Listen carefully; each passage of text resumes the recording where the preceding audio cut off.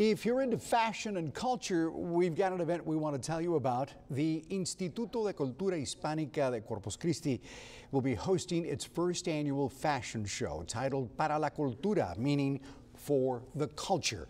It'll feature an evening of fashion, folklorico dancing, food, and a silent auction. It's happening Thursday, September 5th, and we'll have all the details on our website.